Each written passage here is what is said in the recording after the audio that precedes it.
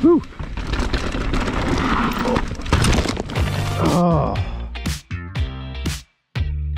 Today, we're riding at Silver Mountain and looking to spend a lot more time in what they call the Chair 3 zone.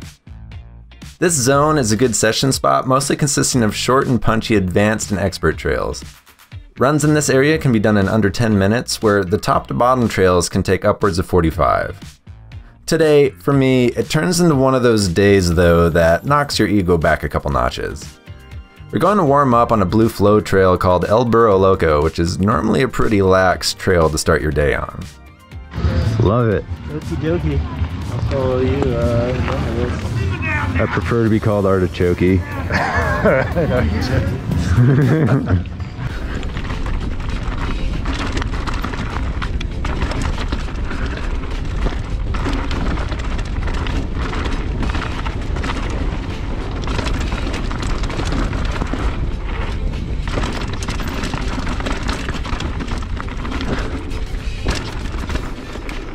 definitely need to warm up.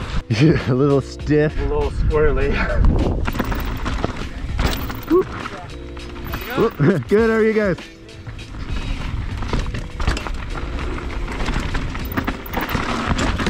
Oh. oh my god. That was a good place. Usually you take your bike with you on those. I disagree. I like that method. Which one? It's probably that thing.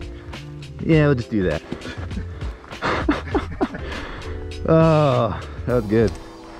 So that was my first incident of the day. That one little rock I didn't see just skidded my front tire over enough into the loose stuff to send me rolling down this rock rollout. After finishing our warm-up lap, we head over to a black tech trail called Frankenbeans. The main feature for this trail is a drop on a little offshoot run called Baby Swiss. Mark's been scoping this out for the last few days, so we're gonna go take a peek at it to see if it's something that he wants to try today.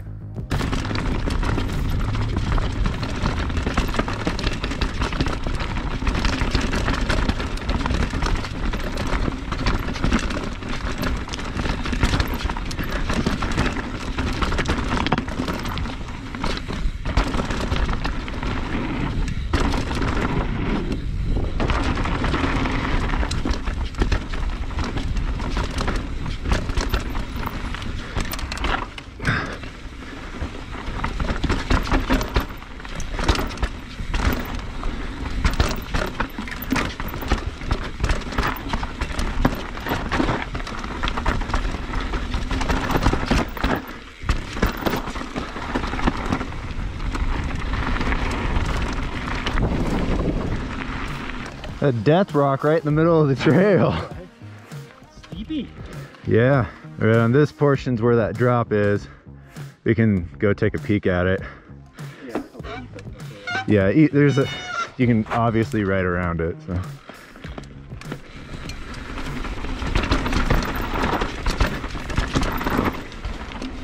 Whew. Oh, Whoa. what a day. Whew. And that's my second incident for the day. Honestly, I'm not sure exactly what happened other than my front tire sliding out. Luckily, though, there was a pile of rocks on the side of the trail to break my fall.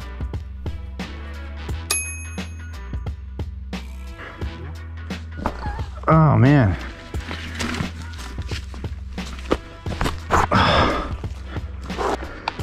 Damn it. Today is not my day, man. One crash after another. Right into a pile of rocks. Son of a b-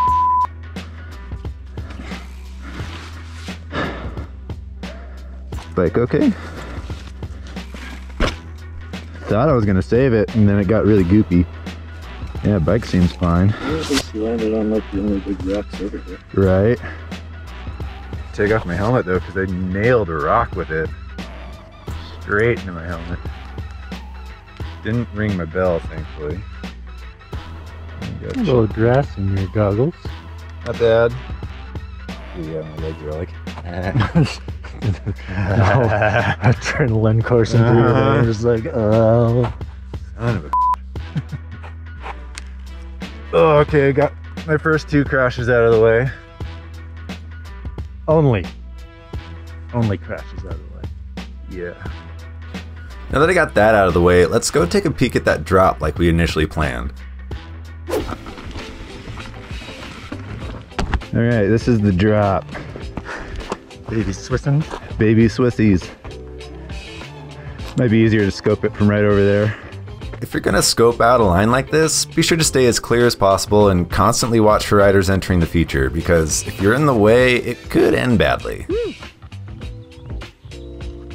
Yeah, you can see it way better right here. You Can actually use a little bit of a break into it, but Not terrible. no, the transition's super smooth. Not bad at all. That might be a 10 foot drop. Eight foot. I think it's eight I the top of the trailer. Yeah, I think you're right. You gonna ride around it or try it? Well, if we're not done on Chair 3, revisit it with you after you're Uh, I think I'm gonna do it right now. ready to go. You watch me do it. Get the speed that you need. Watching.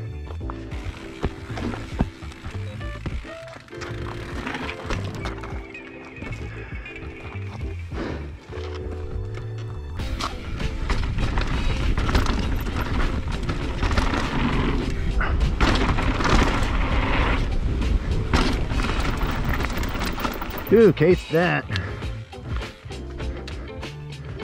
It's not bad. Oh, he's doing it. Yeah. Woo. Heard that chain slap. The chain slapper. Uh, I don't know. Sound like it. Kunk. I don't know if it's chain slap or my fork. Oh, it could have been. Nice. After a few more runs on Chair 3, we decided to head back down the mountain to grab some lunch. We're taking the main jump line down on a trail called Old School.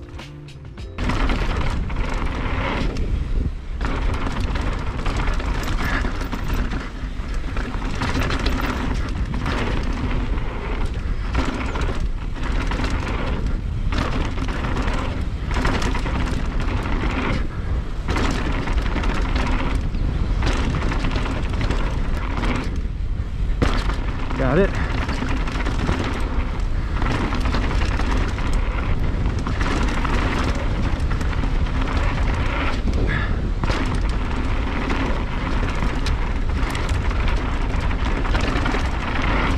Woo!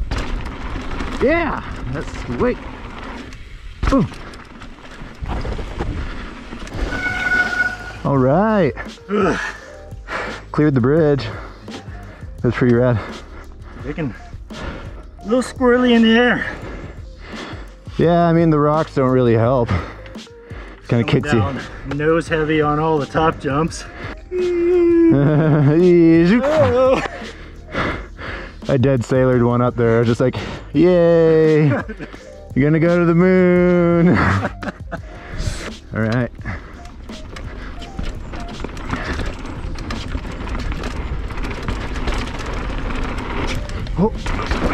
Whoa!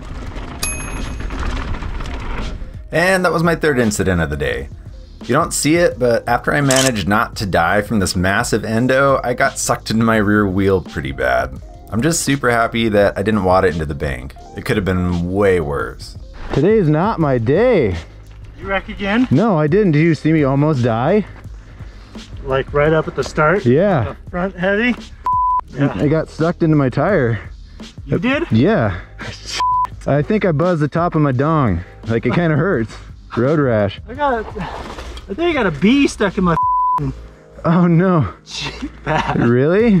Did you rip your helmet off? I had to stop and pull over. It's like, ah, get the out. No. And it, whatever it was, bit me. Yeah, I was uh, riding half that run with like my ass completely hanging out because it pulled my pants off. Man, today is like a Murphy's Law day. Whew. You're not allergic, right? Huh? You're not allergic? Okay. That's good. Yeah, like right after you said, "Oh, I'm a little nose heavy," I'm like, "I'm feeling good, Mark. I don't know what you're talking about." I about." saw it. I did that, and I was like, "I'm about to die for the third time today." God.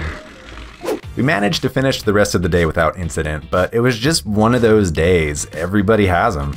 And as long as you're not completely broken, it's nice to look back and laugh at everything that went wrong.